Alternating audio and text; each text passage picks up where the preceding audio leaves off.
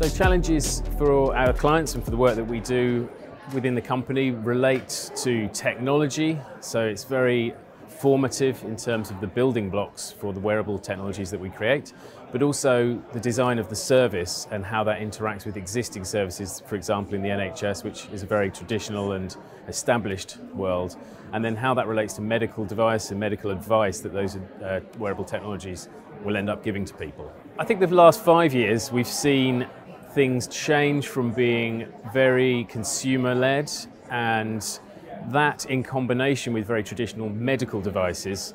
they're at either end of a spectrum. Um, consumer devices are informing medical devices from a user experience point of view, and likewise medical devices are really informing the design of new, uh, more uh, consumer-facing devices that can allow people to look after their health in a sort of pre predictive or preventative way. So it's a kind of mix between those things, and also at the same time, technology is always shrinking. So we're able to look at um, form factors that are much more discreet, that are maybe embedded into clothing or into shoes or glasses or hats or all sorts of other form factors and they don't get in the way, they don't have to make a big statement. So the technology becomes useful when it's useful and then it becomes discreet uh, and not part of the conversation when it's, when it's not.